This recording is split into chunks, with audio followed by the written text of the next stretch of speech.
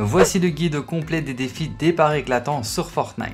Le premier défi va vous demander de fouiller un coffre de l'Olympe ou de fouiller un coffre des Enfers. Pour réaliser ce défi, vous avez deux solutions.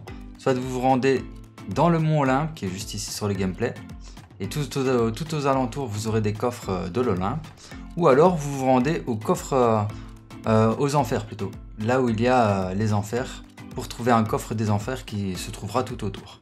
Donc là, regardez, j'ai été juste ici sur le gameplay. Voilà, à cet emplacement-là, dans cette petite maison-là, normalement, vous aurez un coffre de l'Olympe et vous allez pouvoir euh, le fouiller pour terminer le défi. Alors, pour vous aider à trouver tous les emplacements des coffres, je vous affiche une map avec tous les emplacements.